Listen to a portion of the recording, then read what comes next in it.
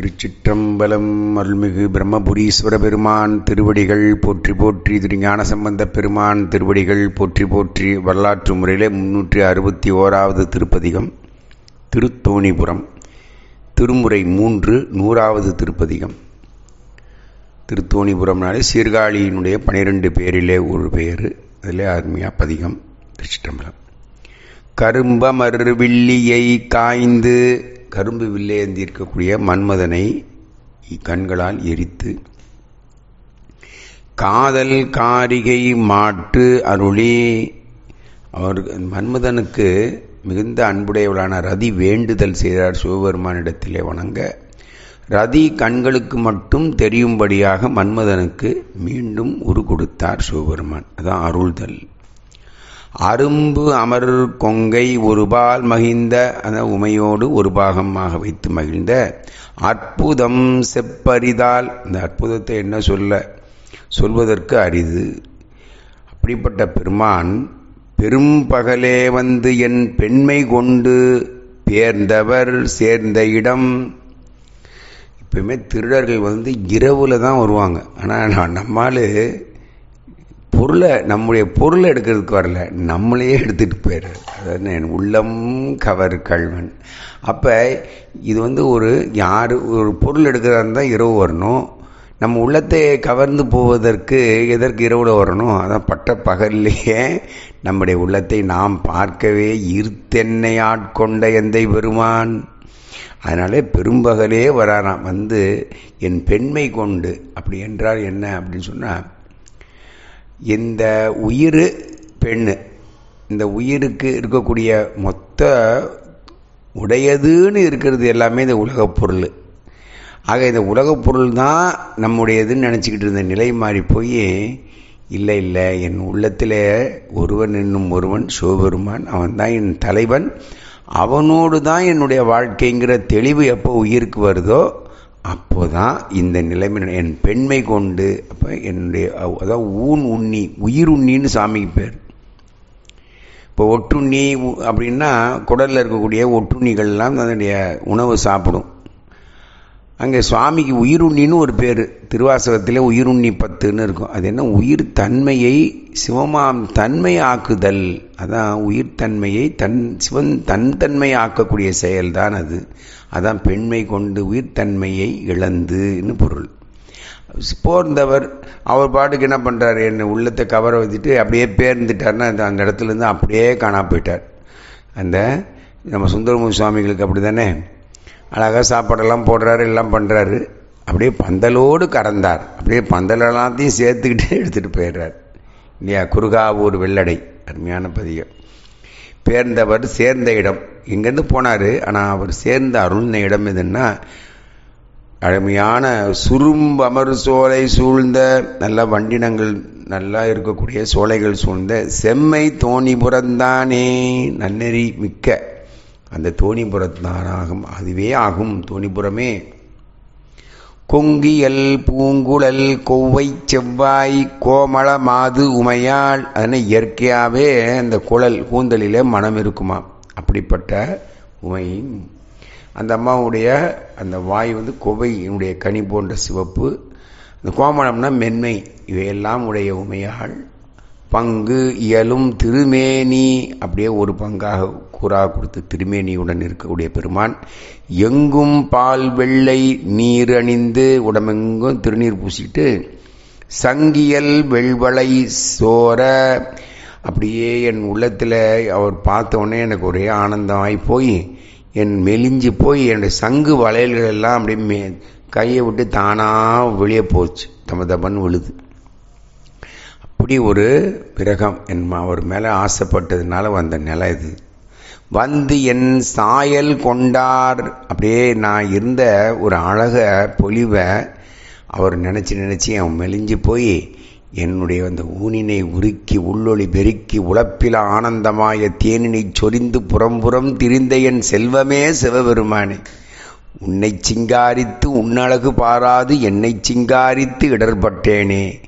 அப்போ என்னன்னா இது வந்து அழியும் பொருள் உடல். அழியா தன்மையான சிவத்தை அடைவதற்காக இந்த பொருள் அதான் இதுக்கு மெய்யின்னு பேர். அழியாத சிவத்தை அறிவிக்கக்கூடிய ஒரு சடம் இது தொண்டு செய்வது இதன் மூலியமாக இதை மெய்ப்பொருளாக்கக்கூடிய வலிமையை கொடுக்கிறார் சாமி.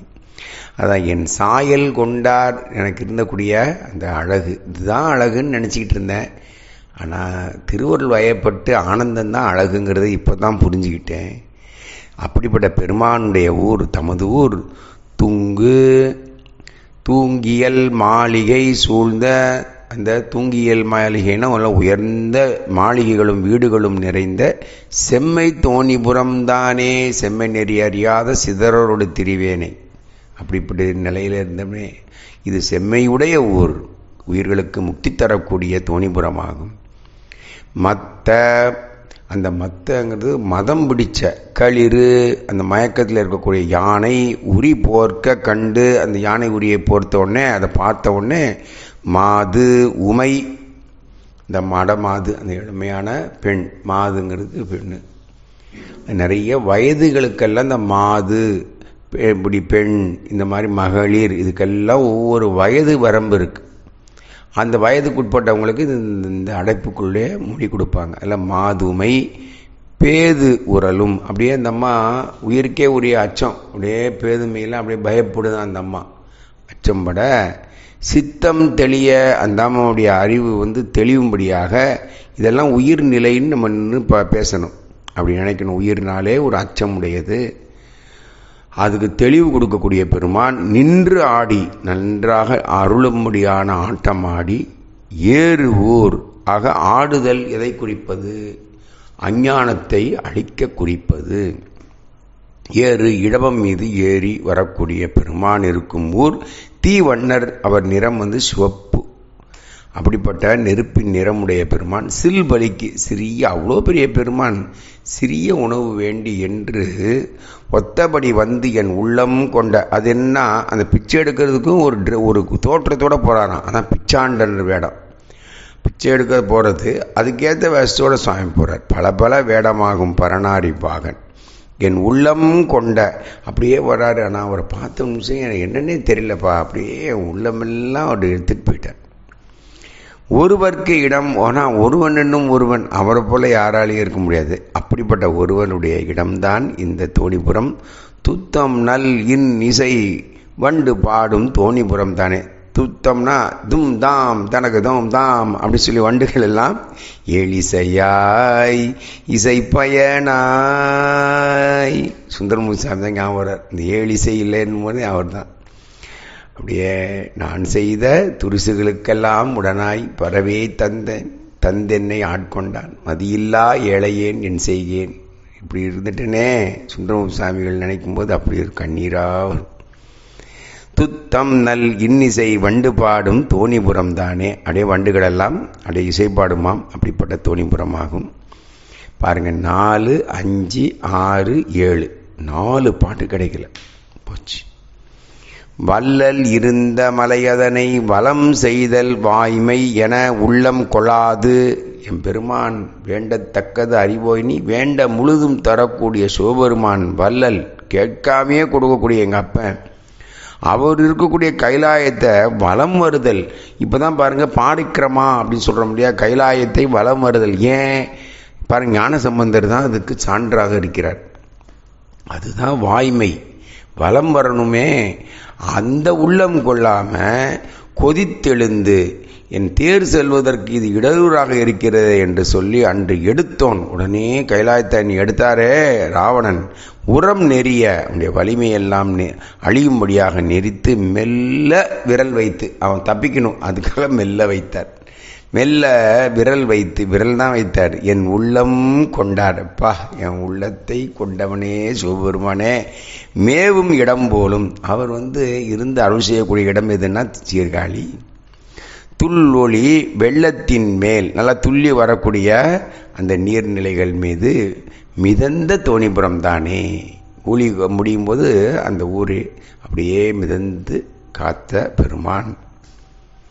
அந்த துணி ஓட்டுன்னு வராரு நமக்கு. நம்மளை எல்லாத்தையும் கரை சேர்க்கறதுக்காக அதான் துணி உரத்தான் வெள் பறவை கொடி மாலும் அந்த கருட கொடியான். இந்த கருட கொடியில் வச்சிருப்பாங்க. திருமால். வச்சிருக்கக்கூடிய திருமால். மற்றை விரை மலர் மேல் அயனும் நல்ல தாமரை மலர் மேல் இருக்கக்கூடிய அயன்னா பிரம்மனும். பல் பறவை படியாய் உயர்ந்தும் பிரம்மன் வந்து பறவையாகி அன்னமாகி மேலே போறாரு. பன்றி அது ஆய் பணிந்தும் பன்றியாகி கீழ் நோக்கி பணிந்தும் போறாரு திருமால். செல்வு அற நீண்டு அவனுடைய காண்பரிய பேரொழியாக நீண்டு எம் சிந்தையை கொண்ட செல்வர் என்னுடைய எண்ணங்கள் அறிவு புத்தி என்னுடைய செயல் ஒன்றுமே புரியல எதுவுமே தெரியலையே எனக்கு எல்லாமே பெருமான் என்ன இந்த உலகத்தில் நடக்கிறதே எனக்கு புரிஞ்சிக்க முடியல காலம் தெரியல நேரம் தெரியல கிழமை தெரியல என்ன தேதின்னு தெரியல என்னுடைய உற்றார் யாருன்னு தெரியல என்னுடைய வீடே எனக்கு தெரியல எதுவுமே தெரியலையே. இது இந்த இந்த மாதிரி ஒரு நிலை வந்தால் எவ்வளோ ஒரு ஆனந்தமாக இருக்கும் பாருங்கள் இதை விட வேறு ஒன்று வேணுமா? எதுவுமே தெரியாமல் அவருடைய சிந்தனையிலேயே அப்படியே லயமாயிடுச்சு அந்த உள்ளம். ஆஹா இவங்கெல்லாம் எப்படிப்பட்ட ஒரு அற்புதம் பாருங்கள் இதெல்லாம் வந்து நம்ம படிக்க தான் முடியும். இந்த பேர் எந்த எந்த ஜென்மத்தில் எப்போ இது நமக்கு வாய்க்குமோ தெரியலையே. ஏன்னா என் சிந்தை கொண்ட செல்வர் என்னுடைய எண்ணங்களையும் சிந்தனையும் எடுத்துக்கிட்டார். ஆட்கொண்டுட்டார். அவராகவே ஆக்கிக்கிட்டார். இப்படி கண்ணப்ப நாயனார் சொல்றாரு அவன் செயலெல்லாம் என் செயல் என்றும். அவன் அறியும் அறிவெல்லாம் எம்மை அறியும் அறிவென்றும் அவனுக்கு அறிவுன்னு ஒன்று இருக்குன்னா என்ன அறிவது தான் அவனுடைய அறிவாகவே இருக்கு. வேற ஒன்றுமே அவனுக்கு தெரியல. பாருங்க ரெண்டு பேரும் நாணனும் காடனும் எவ்வளவோ கூப்பிட்டு பார்த்தான். அவருக்கு அவருக்கு எது பற்றி சட்டையே பண்ணல. உடனே நேராக போய் அவங்க அப்பா அம்மாவை கூப்பிட்டு வரான். நாகனும் தாதையும் வராங்க. அப்பா அம்மா வந்து ஆயிரம் மொழி சொல்கிறாங்க இவருக்கு ஒன்றுமே அப்பா அம்மாவும் தெரியல நண்பரும் தெரியல ஒன்றுமே தெரியல. தன்னை மறந்தான் தலைப்பற்றான் தலைவன் தாளே நங்கை. அப்படியே அவருடைய எண்ணமாகவே போயிட்டார் கண்ணப்ப நாயனர். அவருடைய குரு பூஜை வருது. எல்லாம் வந்து அப்படியே எப்படி வாழ்ந்திருக்காங்க எப்படி அடைஞ்சிருக்காங்க யோசித்து பார்க்கணும். ரொம்ப ஆனந்தமான ஒரு விஷயம் அது.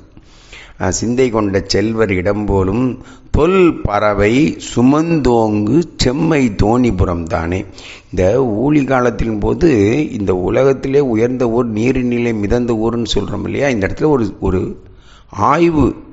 தொல் பறவைன்றது யாழி வந்து நமக்கு தொல் பறவை. அது வந்து யாழி வந்து ஒரு யாழி நான்கு யானைகளை தூக்கி செல்லக்கூடிய ஆற்றல் உடையவன் சொல்லுவாங்க. இந்த பாருங்க தொல் பறவை சுமந்து ஓங்கு செம்மை தோணிபுரம் தானே. இதற்கு என்ன பொருளுங்கன்னா பல தொல் பறவைகள் சேர்ந்து இந்த திருக்கோவிலை அப்படியே அந்த ஊழி போது எடுத்துக்கொண்டு பறந்தனங்கிறதுன்னு நம்ம ஒரு கருத்து சொல்கிறதா இல்லை இந்த தொல் பறவைங்கிறதுக்கு ஐயா என்ன பொருள் கொடுத்துருக்கிறாரு? ஞானசம்பந்தருடைய சிந்தனை என்னங்கிறது உண்மையிலேயே வெளிப்படலை. ஆனால் நம்ம கருத்தளவில் ஏதோ தொல்பறவைனா ஒரு பழமையான பறவை. அது வந்து நமக்கு இப்போ கிடைச்ச வரையிலும் யாழி தான் பழசு. அப்போ இவை வந்து அப்படி அத்தனை யாழிகள் சேர்ந்து இந்த திருக்கோவிலை பற்றி இந்த ஊழி காலத்தின் போது ஆகாயத்தில் வைத்து திரும்ப நீர் வழிந்தவுடனே வைத்தனவாங்கிறது ஒரு ஆய்வு. இது வந்து பார்க்கணும். குண்டிகை பீழி தட்டொடு நின்று கோசரம் கொள்ளியரும் குண்டிகை நீர் எப்பயுமே வச்சுருப்பாங்க. அப்படியே தூக்காளியில் போவாங்க. பீழி அந்த மயிர்பீழி அந்த இது இருக்கு இல்லையா? நம்முடைய தோகை மயிலுடைய தோகை. ஏன்னா அந்த சிறு சிறு எறும்புகள்லாம் சித்தரக்கூடாது நடக்கும்போது. அதுக்காக பெருக்கி விட்டு நடப்பாங்க. ஆனால் அப்பர் பெருமானா கல்லில் கட்டி கடலில் போடுவாங்க. ஏன்னா என்னென்ன பண்ணணுமோ அவ்வளவும் பண்ணுவாங்க. ஹரஹர ஹரஹரன்னு ஓசை சொன்னோன்னு நிறுத்துங்கடா. எல்லாம் பேசக்கூடாது. சிவநாமத்தெல்லாம் சொல்லாதீங்கன்னு சொல்லுவாங்க. என்னென்ன அடுவலியம் பண்ணுமோ அவ்வளவும் பண்ணுவாங்க. ஆனால் அவங்க வந்து சின்ன உயிர் கூட தூ கெட்டது செய்ய மாட்டாங்க. எப்படி நல்லா இருக்குல்ல கேட்குறதுக்கு தட்டோடு தட்டோடுனா கீழே வந்து பாய் விரித்து தான் உட்காருவாங்க. அதனால் இடுப்பு இடுக்கையில் வந்து பாய் விரித்து எடுத்துக்குவாங்க ஆனால் உடம்புல வந்து பாய் எதுவும் சுற்றிக்க மாட்டாங்க. பாருங்கள் உடம்புல துணி இருக்காது. ஆனால் கீழே விரிக்கும் போது வண்டி துணியை போட்டு அது மேலே உட்காருவாங்க. இப்படிப்பட்டவங்க கோசரம் கொல்லியரும் அது என்னென்னா கோச்சரம் கொல்லியரும்னா அந்த அவங்க இருக்கிற இடத்தின் பேர் படுக்கைன்னு சொல்லுவாங்க. அவங்க பல பேர் கூடி இருக்கக்கூடிய கொள்கையுடையவங்க. பார்த்திங்கன்னா இருக்கிறது அமனமாக இருந்தாலும் அந்த இடத்துல படுக்கையில் என்ன பண்ணுவாங்கன்னா ஒரு குகையிலே போய் அது பேர் படுக்கை. அந்த இடத்துல ஒன்றாக கூடி தவம் செய்வார்கள். அதெல்லாம் புரியல. ஏன்னா இந்த ஐம்புலன்களோட வாசனையில் இருக்கக்கூடனா நம்ம வந்து இந்த உடை மறுத்து எப்படி அந்த இடத்துல கூடி இருக்கிறதுங்கிறது புரியாத ஒரு விஷயம். அதனால் நமக்கு தெரியாத விஷயம். ஆனால் இந்த மாதிரி இது மாதிரி இருக்கிறது எந்த ஞானிகளுமே ஒத்துக்கொள்ள. ஸ்ரீ பகவான் ஸ்ரீ ராமகிருஷ்ண பரமேஸ்வர் கூட சொல்கிறாரு நீ துணி இல்லாமல் இருக்கிறது அவ்வளோ சிறப்பு இல்லை. ஏன்னா நீங்கள் சொல்லக்கூடிய நல்ல விஷயங்களை கேட்கறதுக்கு மக்கள் வந்து எளிய மக்கள் வரணும். நீங்கள் இந்த மாதிரி இருந்தீங்கன்னா அவங்க வர அஞ்சுவாங்க. அதனால் இந்த சிறு ஆடையாவது தரித்திருங்கங்கிறது எல்லா ஞானிகளும் சொல்கிறாங்க நமக்கும் இந்த வெள்ளாடை உடுத்தி வருவது நம்முடைய சைவ மரபும் தெளிவாக இருக்கிறது. மண்டை கையேந்தி கையில் வந்து இந்த பிச்சா பாத்திரத்தை எடுத்து மனம் கொள் கஞ்சி ஊனரும் எல்லாம் எப்போ பாரு இஷ்டத்துக்கு குடிக்கிறாங்க. ஆறு சம அப்படியே பௌத்தர்களும். வாய் மடிய அவங்க பேச்செல்லாம் அடங்கும்படியாக செய்தார் சிவபெருமான். இண்டை புனைந்து எருது ஏறி வந்து என் எழில் கவர்ந்தார் இண்டைனா அந்த மலர்களை சிறிய வளையமாக கட்டி சுவாமியுடைய திருமேனியினுடைய திருச்சடையில் அந்த மேலே ஈசானத்தில் வைப்பாங்க. சுவாமியுடைய மேல் பாகம் அந்த ருத்ர பாகத்தினுடைய மேலே ஈசான பாகத்திலே வச்சு அழகாக ஜோடிக்கக்கூடிய அந்த மலரினுடைய வளையத்தின் பேர் தான் இண்டை. இண்டை வைத்து எருது காளையப்பெருமேறி ஏறி வந்து என் எழில் கவர்ந்தார். நான் இவ்வளோ காலம் எது என்னுடைய அழகுன்னு நினச்சிருந்தனோ அது என்னுடைய உண்மையான அழகு இல்லை. அது அழகை எடுத்தவொன்னே தான் தெரியுது உண்மையான அருள் தான் எனக்கு அழகுங்கிறது. இனிமேல் நான் அருள் வடிவிலே தான் அழகு காண போகிறேன் அதுதான் எனக்கு ரொம்ப சந்தோஷமாக இருக்குது அப்படின்னு சொல்லிட்டு இந்த ஊன் ஒரு நாள் அழிய போகுது. ஆனால் அருள் இன்னும் அழியாது. அதனால் அருளால் வரும் எழில் தான் எனக்கு வேணும். அதனால் இந்த எழில் போனால் போயிட்டு போகுது. வேண்டாம். என்னைக்காவது ஒரு நாள் எழில் போகுது. போது தான் போகுது. ஆனால் இந்த அருள் வர்றதுக்காக இந்த எழில் அழிஞ்சால் எனக்கு என்ன கவலை இருக்குது அதனால் போனால் போயிட்டு போகுது. எழில் கவர்ந்தார் இடமாம். தொண்டு இசைப்பாடல் அறாத இந்த தொண்டர்கள் எல்லாம் இசைப்பாடிக்கொண்டே இருக்கக்கூடிய ஊர் இது தோணிபுரம். தொன்மை தோணிபுரமே பல ஊழி கண்ட தோணிபுரம் ஆகும் தூமறு மாளிகை மாடம் நீடு தோணிபுரத்து இறையை. பதினோராவது பாடல். ஏன்னா அப்படியே தூய்மையான வெள்ளை நிறத்திலே அதில் சுதை வேலைப்பாடுகள் நிறைந்த மாளிகை வீடுகளும் மாளிகைகளும் நிறைந்த தோணிபுரத்தில் இருக்கக்கூடிய பெருமான் இறைவனை மாமறை நான்கினோடு அங்கம் மாறும் வல்லவன். இந்த இடத்துல தான் சொல்கிறார் நான்மறை ஆரங்கம் தெளிந்த ஞான சம்பந்தன் நான் தமிழில் பாடினதுனால எனக்கு வேதம் தெரியாதுன்னு நினச்சிக்காதீங்கப்பா. நாரங்கமும் நால் வேதமும் எனக்கு அத்துப்படி அதில் வல்லவன் நான். இது யார்? நாம் சொல்கிறேன் ஞான சம்பந்த பெருமானே சொல்கிறார் ஏன்னா இந்த துஞ்சல் துஞ்சலில்லா போல்தினம் பதிகத்திலே சொல்கிறாங்க இவங்களுடைய சந்தேகத்தெல்லாம் இவருக்கு சுவாமிக்கு தீக்கை கொடுக்க வராங்க. நம்முடைய அந்தன பெருமக்கள் அத்தனை பேரும். ஆனால் இவருடைய வேத மொழியை பார்த்துட்டு இவர்கள் இருக்கிற சந்தேகத்தை எல்லாம் சாமி தீர்த்து வைக்கிறார். அப்படிப்பட்ட பெருமானாச்சே அதுதான் ஓதாது எல்லாம் உணர்ந்தாய் போற்றி சுமந்த பெருமான் தான். அதான் மாமரை நான்கினோடு ஆரங்கம் வல்லவன். வாய்மையினால் அப்படியே மெய்மையினால் பொய்யே இல்லாத பெருமான் ஞான சம்பந்த பெருமான் ஒரு கேள்வி நலம் திகழும் ஞான சம்பந்தன் நமக்கெல்லாம் கேள்விங்கிற ஒரு ஞானத்தை புகட்ட வல்ல நாவுடைய நல்ல ஞான சம்பந்தன் சொன்ன பாமரு பாடல்கள் பத்தும் வல்லார். இப்படிப்பட்ட அந்த பாட்டு இலக்கணப்படி அமைஞ்ச பாடல்கள். பண்ணோடு அமைந்த பாடல்கள் பத்தும் வல்லமையோடு பாடுவார்கள்.